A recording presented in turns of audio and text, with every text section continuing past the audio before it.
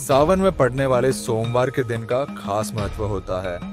इस वर्ष सावन माह की शुरुआत 22 जुलाई 2024 से हो रही है और इसी दिन सावन का पहला सोमवार भी पड़ेगा।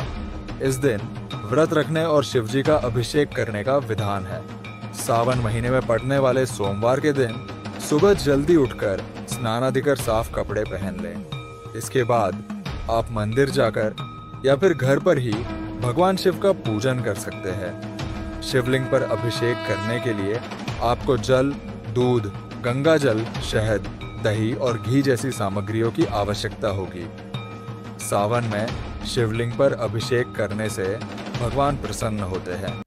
शिव पुराण के अनुसार शिव ही स्वयं जल है।